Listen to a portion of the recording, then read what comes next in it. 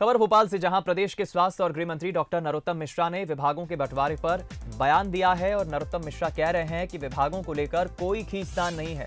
ये सीएम का विशेष अधिकार है।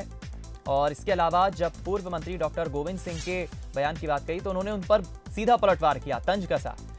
नरोत्तम मिश्रा ने कहा कि गोविंद सिंह खुद अपना विभाग तय नहीं कर पाए थे। गोविंद सिंह कौन होते हैं? बीजेपी के काम में दखल देने वाले।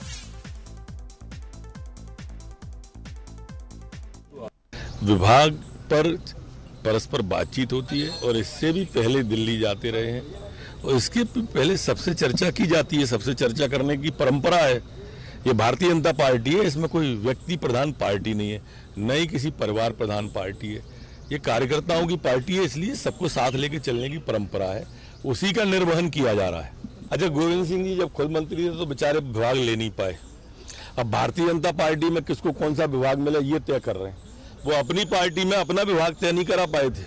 भारतीय जनता पार्टी में किसको क्या विभाग दिया जाए, ये क्या गोविंद सिंह जी तय करेंगे? ये भारतीय जनता पार्टी तय करेगी, माननीय मुख्यमंत्री जी तय करेंगे। इतनी चिंता कांग्रेस के लोग अगर अपनी पार्टी की कर लेते तो आज विपक्ष में काय को होते?